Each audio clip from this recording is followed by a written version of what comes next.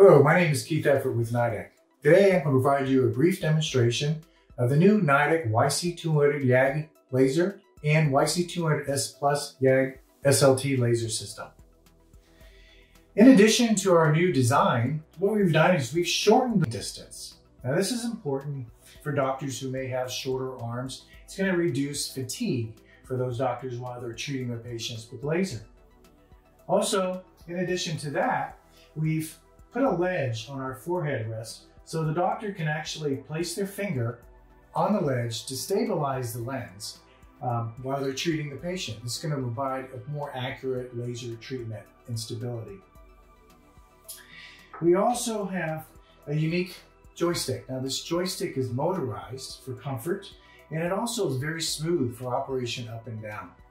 On the back of the joystick, we have our unique utility S switch. Now this utility S switch can be customized for each individual doctor's preferences. Um, so first what I did is I go, already went ahead and customized this to where when I turn it to the right, it will increase the laser power energy or to the left, it decreases the laser power energy. We can also push the S switch towards the joystick and activate our dual rotating aiming beam. Now, this rotating aiming beam is very important because if patients should have some sort of corneal opacity, uh, this can allow us to kind of get around that corneal opacity and we can treat a little more accurately. And I can shut it off by pressing it towards me again.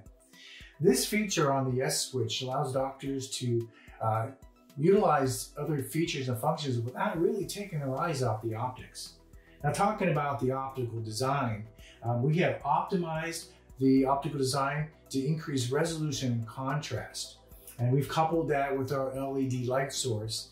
And with that, it provides a more crisp and clear view of the treatment area and a wider uh, focal point as well. Now I'm going to go over some of the features um, with the power of our laser. Now, we can treat patients with 1.6 millijoules of threshold power in air. That's the breakup time. So as a matter of fact, when I go ahead and press the ready button, um, we already have the 1.6 millijoules. And as I treat, you can see it breaks up in air. Now this is important because we can treat much more precisely and possibly with lower power.